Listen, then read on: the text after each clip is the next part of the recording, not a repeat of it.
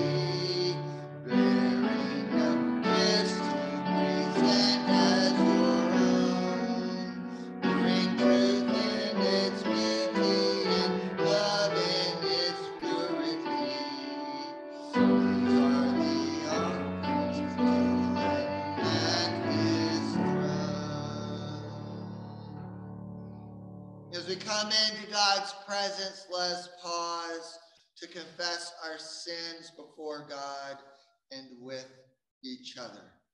Please join with me in the prayer of confession. God of glory, you sent Jesus among us as the light of the world to reveal your love for all people. We confess that our sin and pride hide the brightness of your light. We turn away from the poor we ignore cries for justice. We do not strive for peace.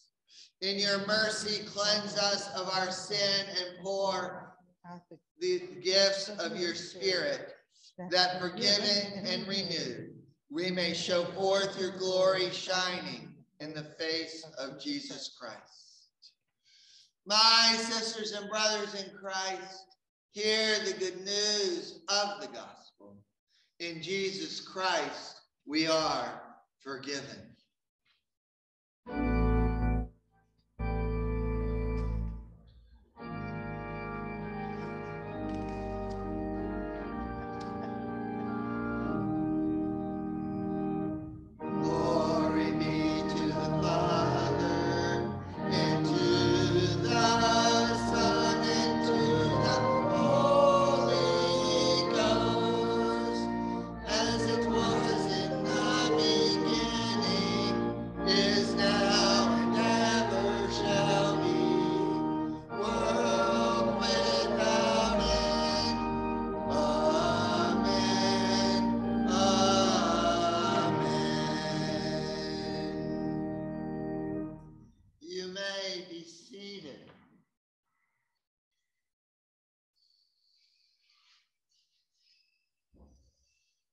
I mentioned earlier that this is the Sunday where we go from the three wise men to Jesus's baptism.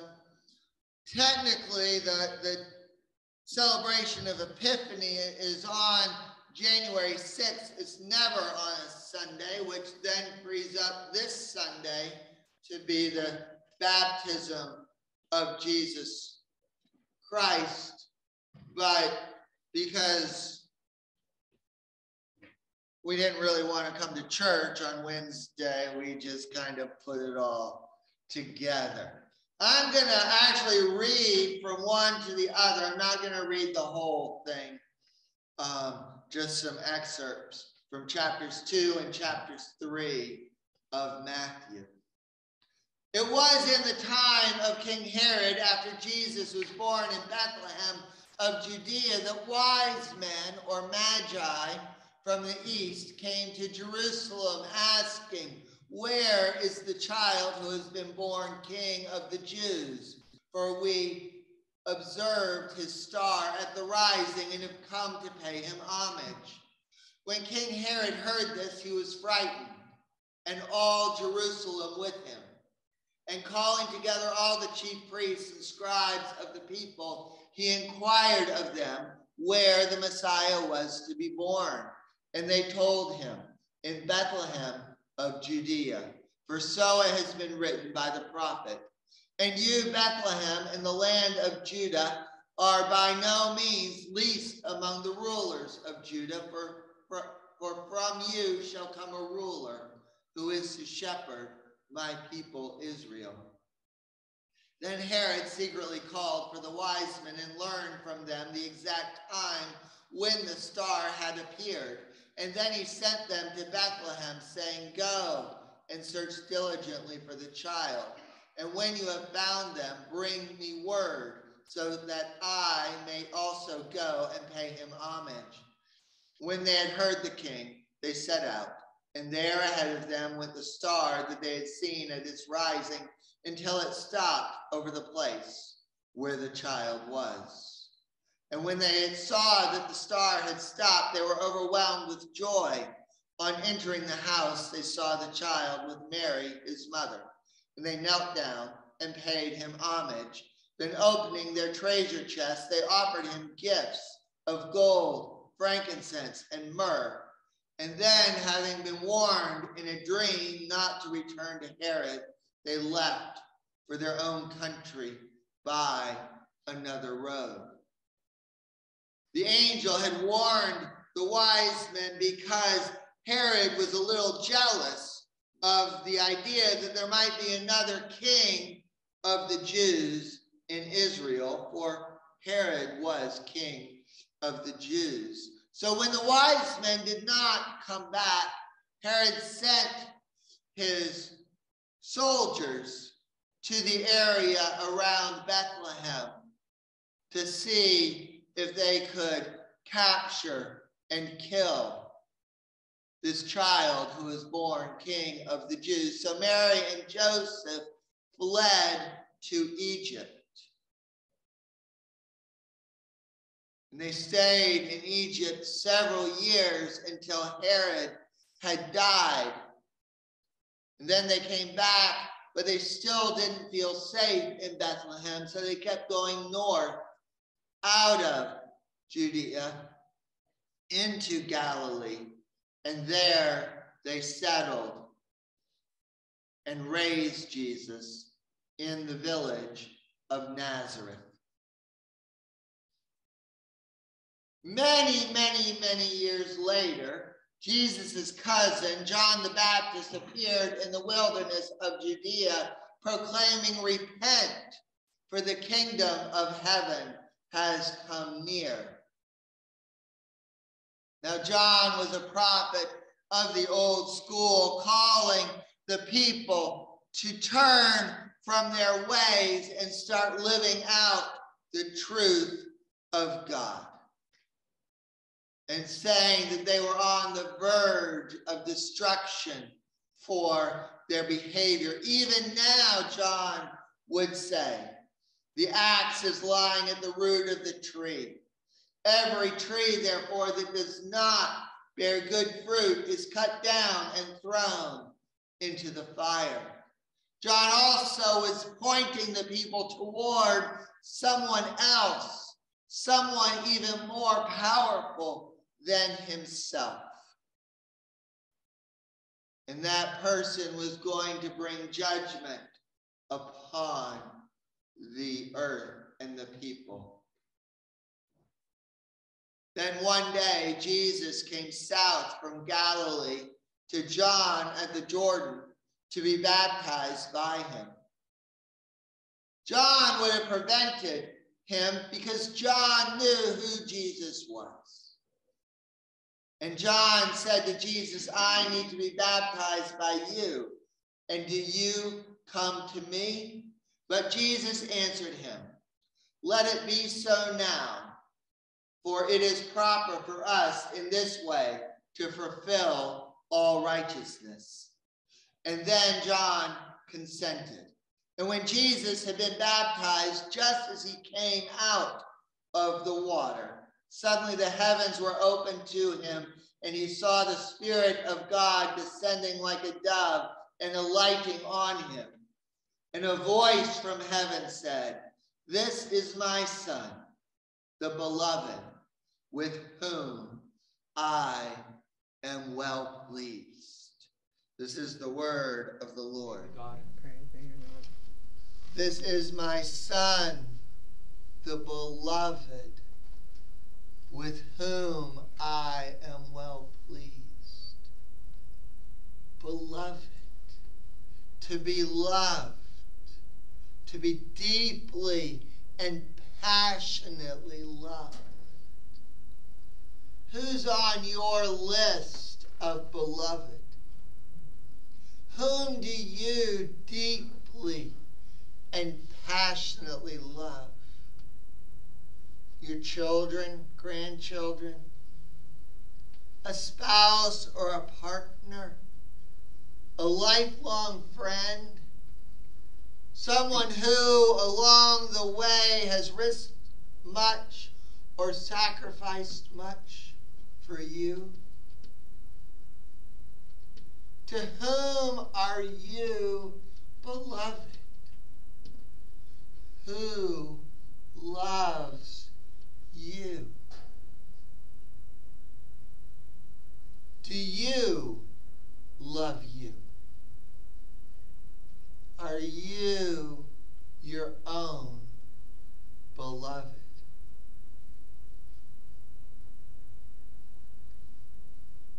The voice from heaven affirms Jesus, names him, identifies him. You are my son, my beloved. Wow. To be God's beloved. We don't know what took Jesus to the Jordan, to John on that day. Scripture leaves us this giant hole. We don't know. We don't know. We might assume that since Jesus was born without sin, that his entire early life was great and wonderful. But we also know that Jesus experienced the full range of human emotion. What might it have been like to be the Son of God, to grow up being the Son of God? Was Jesus' young life one of struggle and and discerning of his identity, his role, his power, his calling?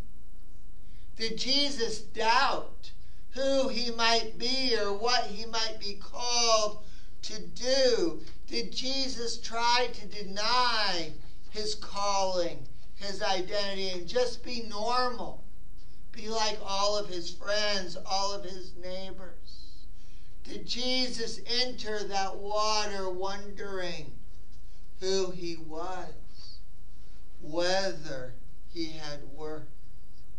It's from the clouds that he hears that word. Beloved, you are my beloved. You are the one whom I love.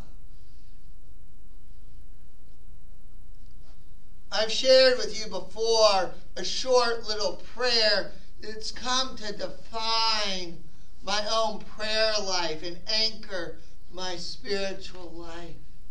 a short little prayer. Jesus Christ, Lamb of God, have mercy on me, your beloved. Jesus Christ, Lamb of God, have mercy on me, your beloved. The prayer comes from my colleague, the Reverend Jeff Eddings. Jeff has the job of being a pastor and spiritual guide to pastors like me who are launching new and radical ministries like we're doing in Columbiana. Launching these type of ministries can be spiritually and physically and emotionally draining, often, not luckily in my case, but often with little, little support from those in the church around them. And there's a huge amount of failure involved. So Jeff gathers us together, constantly reminding us we are God's beloved. And we push back at him. But, but, we say, we didn't do this right. We didn't do that right. We messed up here. We didn't do enough there. If only people knew what we were really like or what was really going on in our heads or what we really think or what we really believed or how much we doubted or how much we wondered they really knew our fears or our incompetences, well, they wouldn't like us very much. And Jeff pushes right back. Remember, he tells us. Remember. You are God's beloved. But, but, but, we say. Another Bible story. Another voice from heaven. Light, blindness on the road between Jerusalem and Damascus Saul, Saul, the voice says, Saul, why do you persecute me? You, Saul, who collected coats while they stoned my beloved Stephen. You, Saul, who had a warrant from the high priest to arrest, torture, and kill those who pray in my name. You, Saul, who in your attempt to show devotion to me are killing my beloved. You've turned to hate, to terror, to murder. Why, why, why do you do this? The voice says, Why? For I love you. You, Saul are my beloved. Many years later, Saul, now going by the Greek name Paul, would write, Rarely will anyone die for a righteous person, although perhaps someone might die for a good person. But God proves his love to us that while we were still sinners, Christ died for us. Saul, Saul, Jesus says, the voice coming from heaven, you who persecute me, you are my beloved. I love you. Jesus Christ, Lamb of God, have mercy on me, your beloved. I am beloved by you. God, you created us, you birthed us, you breathe into us your holy breath. You love me. We are loved. We have worth. Who Who do you consider beloved? That's the flip side. It's nice to rest securely in this knowledge that God loves us, that we are God's beloved. But who do we love? We like making the list of who's in, the who's out, those whom we love, those whom we don't, those we think God should love, those we think God shouldn't love. The other day on Facebook, I learned that the husband of an acquaintance of mine that I much respect has certain affiliations of which I decidedly do not approve. And immediately I transferred my acquaintance's husband to that list that we all keep the mental list, that list of those who are not beloved. Before, when I barely even knew of her husband, he wasn't on any list at all. I didn't care about him. But now I knew this thing about him, and he is on that list. And her, I began wondering. She was on this. But she posted about her husband. So does that move her to that list? Who's worthy of our love? who's worthy of God's love. This isn't new. Jesus' disciples had their lists as well. They told and retold the story of Jesus being God's beloved, and they held that up. That line, You are my son, my beloved, of whom I am well pleased, is repeated three times in the Gospel of Matthew. They didn't care so much about the story of Paul being God's beloved.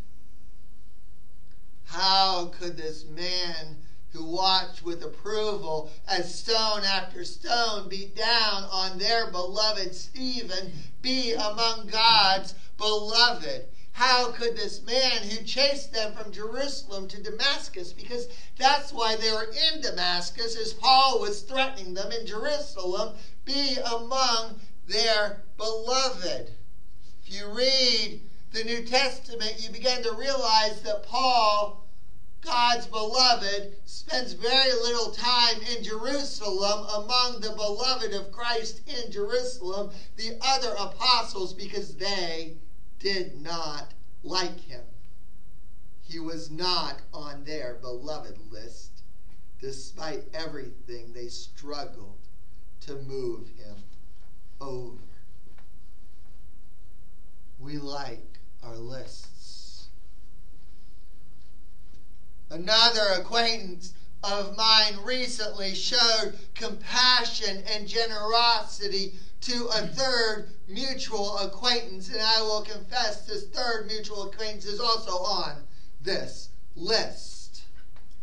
And I was frustrated with my friend, even a little angry at my friend because this third mutual acquaintance had actually hurt them more than the acquaintance had hurt me. But here, my friend was showing generosity and compassion. This isn't a new thing. I have accosted my friend about the generosity and compassion my friend shows to this third acquaintance, to which my friend just replies, We're deeply connected.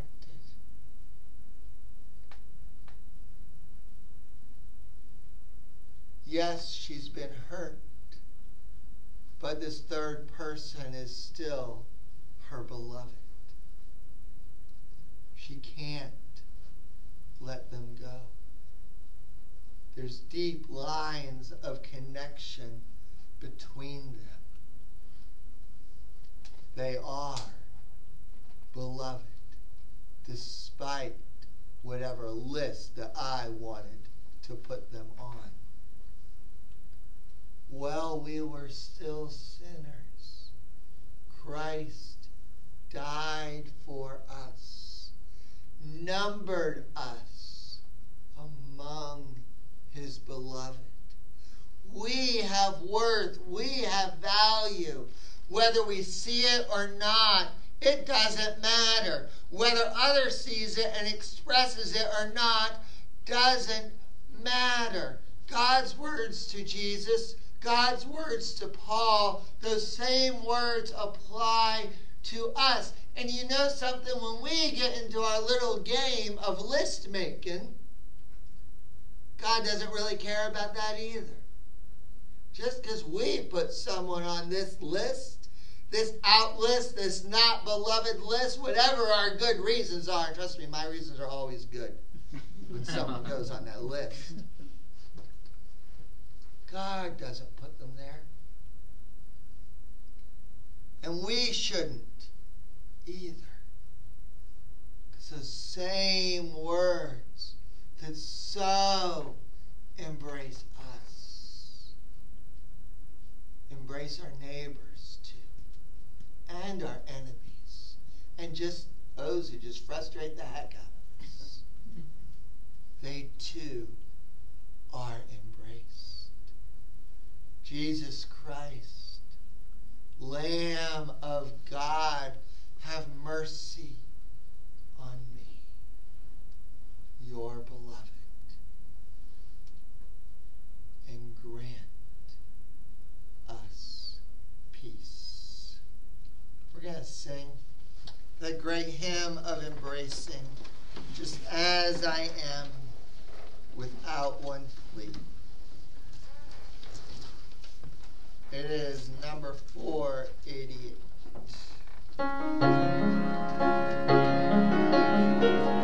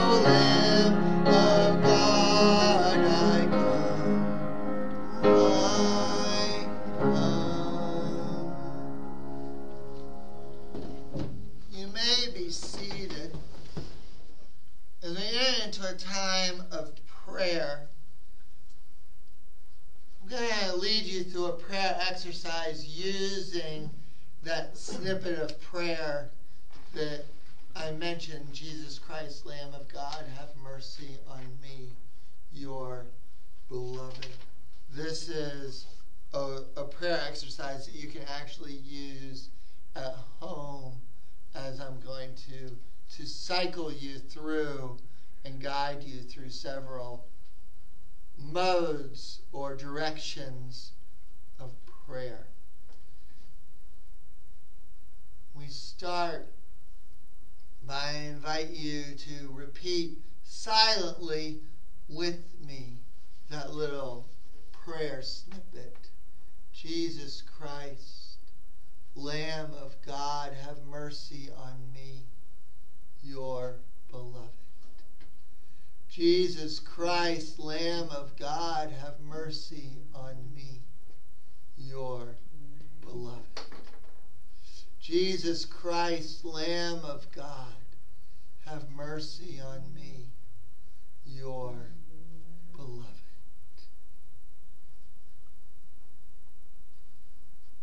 Now I invite you to pull up to mind any ways in the last few hours or day or so you have felt God's belovedness. Those moments when, in the midst of the everyday, Christ broke through and you just sensed that you belonged to God.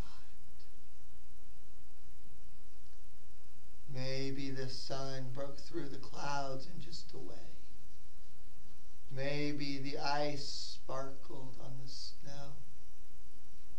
Maybe in the midst of struggle or panic or anxiety, you felt a moment of peace. Maybe someone else was Christ to you, and you were beloved by them. Bring these to mind.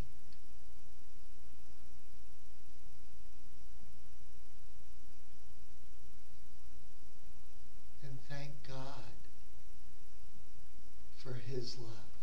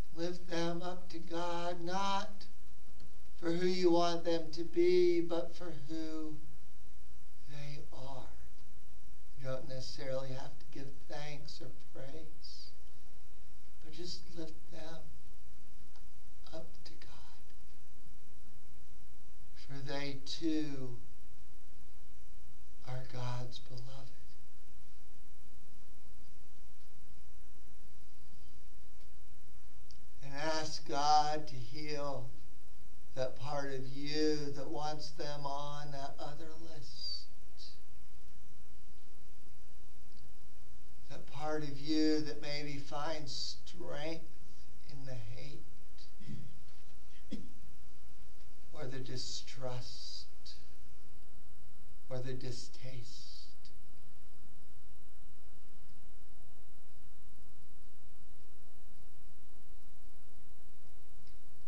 Finally, I invite you to think through your life and your interactions about those who are maybe on no one's list.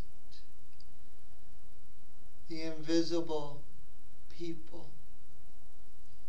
The invisible among God's beloved you rely on, we all rely on every day. Those faces we pass and meet and don't think about. the clerk in the grocery store, one of God's beloved. The person who picks up our trash, one of God's beloved. The receptionist in the doctor's office, one of God's beloved. so many people we depend upon, whom we don't know, God's beloved. Give thanks for them, for what they bring to your life.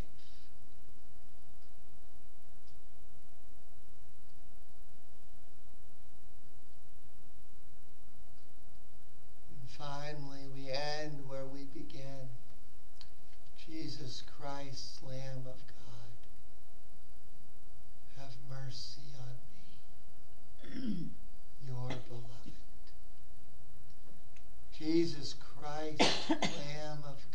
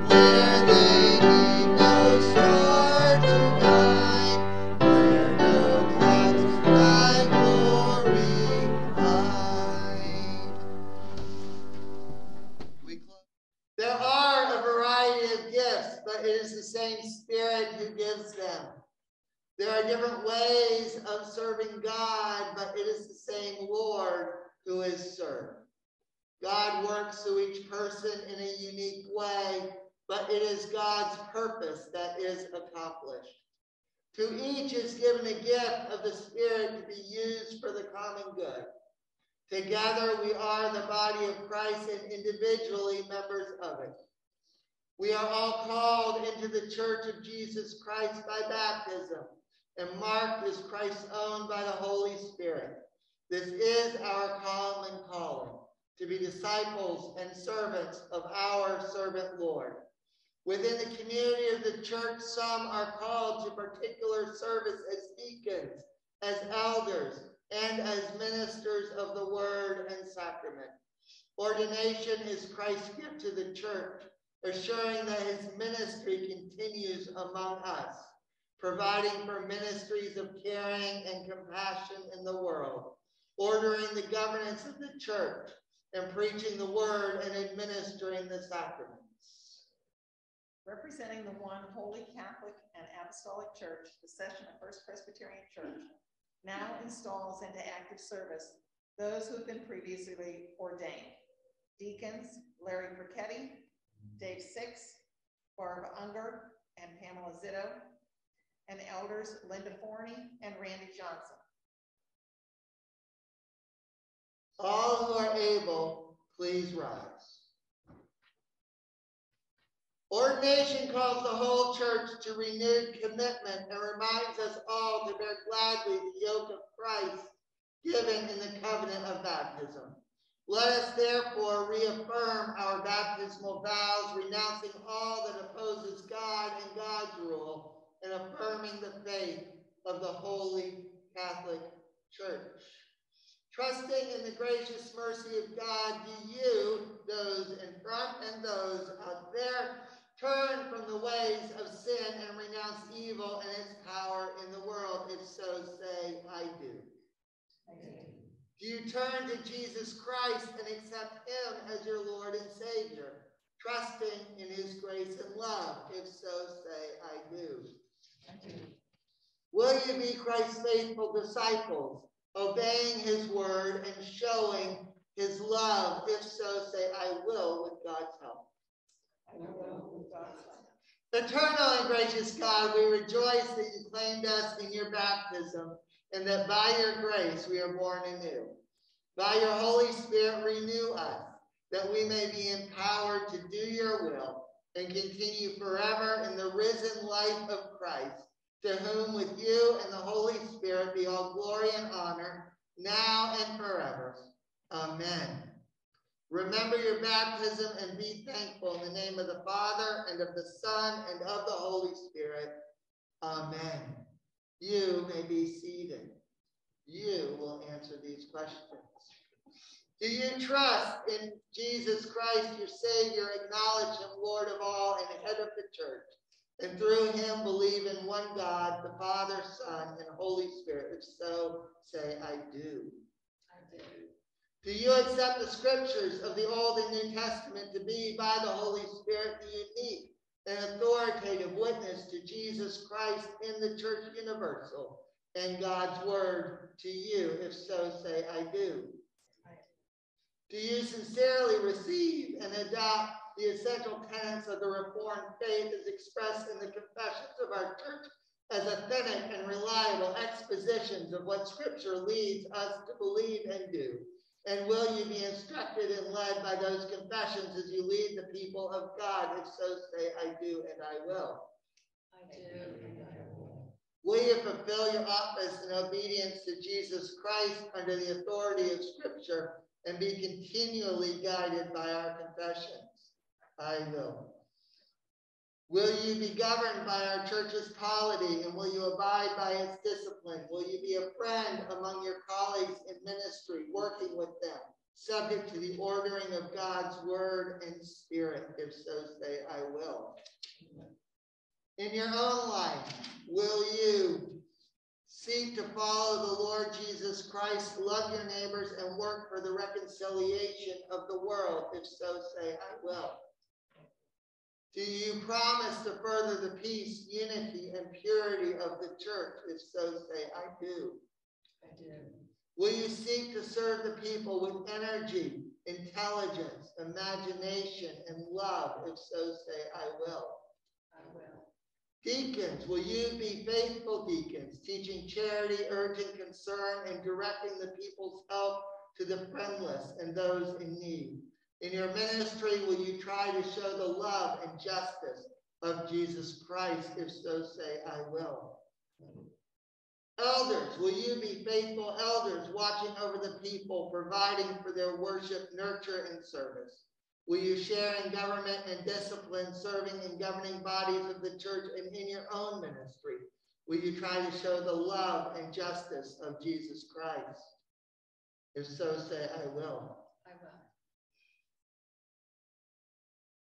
Congregation, do we, the members of the church, accept Linda and Randy, Larry, Dave, Barbara, and Pam as elders and deacons, chosen by God through the voice of this congregation to lead us in the way of Jesus Christ? Do we? Do we agree to encourage them, to respect their decisions, and to follow as they guide us, serving Jesus Christ, who alone is head of the church? Do we? To Larry and Randy, to Linda and Randy, to Larry, Dave, Barbara, and Pam, you are now continued to be in active service as elders and deacons in the Church of Jesus Christ and for this congregation. Be faithful and true in your ministry so that your whole life will bear witness to the crucified and risen Christ. Huge thank you to all of you and to Randy for your willingness and commitment to serve and lead and guide us in the year ahead. Thank you, and you can now be seated. And we close our service with our closing song. Go, my children, with my blessing.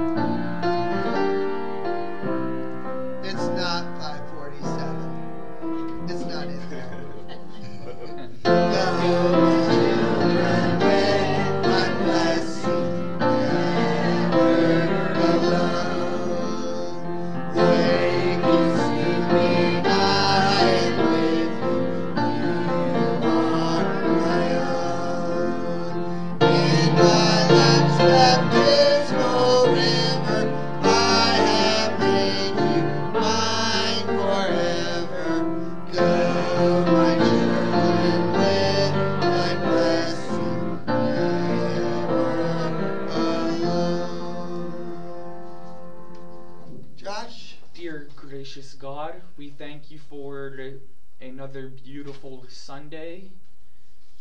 We thank you for the blessings and joy that you give us. Can you please bless the offering plate?